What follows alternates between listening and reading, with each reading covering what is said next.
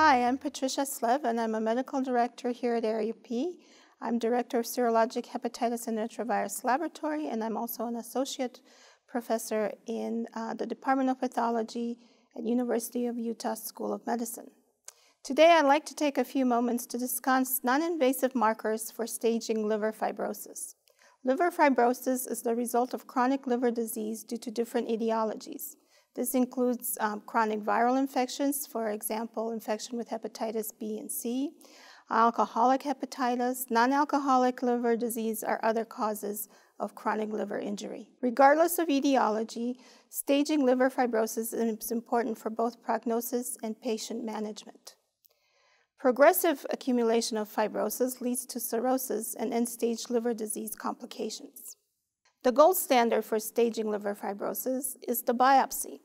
Although it is the accepted gold standard, it has several limitations and is considered an imperfect standard for many of the following reasons. For one, it is an invasive procedure accompanied by a low but significant risk for complications, which include bleeding, infection, pain, and hemothorax. In some populations, biopsy is actually contraindicated in populations such as those who suffer from ascites or have extrahepatic biliary obstruction. The risk for hospitalization associated with liver biopsy has been estimated to be between 1 and 5%. Other drawbacks to the biopsy include cost, sampling error, inter-observer pathologist variability, and other factors that can lead to inaccurate result. In recent years, it has become possible to stage liver fibrosis using alternative tools such as non-invasive surrogate biomarkers and imaging techniques. Today, I'd like to spend a few moments just reviewing serum biomarkers as an alternative tool. Serum biomarkers often are a less invasive and less expensive alternative to the biopsy. In the last two decades, many such markers have been identified and studied in a variety of different patient populations.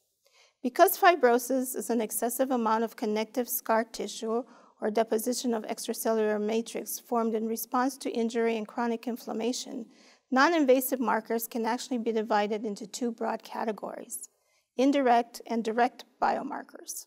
Direct biomarkers are fragments of liver matrix components produced by the hepatic stellate cells during the process of extracellular matrix remodeling. These can include metalloproteinases and tissue inhibitors of metalloproteinases.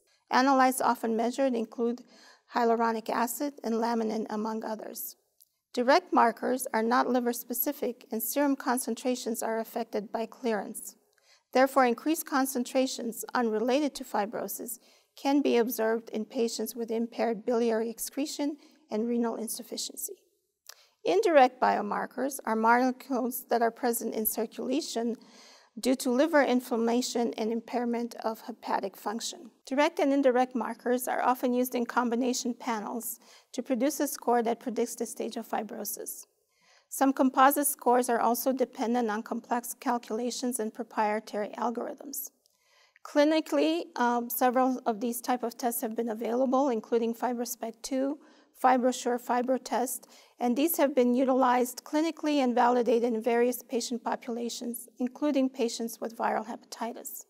The sensitivity and specificity of these tests vary depending on the test used, the patient population used, the etiology of fibrosis, Therefore, hepatitis C may be different than hepatitis B, and it's also largely dependent on the stage of fibrosis. FibroTest and FibroSure are identical tests marketed under different names in Europe and in the US, respectively. Fibrometer, which has been available in Europe, has only recently become available for clinical use in the US for patients with chronic viral hepatitis leading to liver fibrosis. The Fibrometer algorithm utilizes age, gender, AST, ALT, GGT, prothrombin index, platelet count, and alpha-2 macroglobulin, as well as urea to stage fibrosis using the METAVIR histological scoring scale, and also provides a necroinflammatory activity score. Furthermore, to reduce misclassification, test scores in Fibrometer are evaluated by a rule-based algorithm that detects anomalous profile results. Lastly, several sequential algorithms have been proposed that use several of these different non-invasive biomarker tests in combination. For more information on fibrometer and other non-invasive serum biomarkers for staging liver fibrosis, please refer to aruplab.com.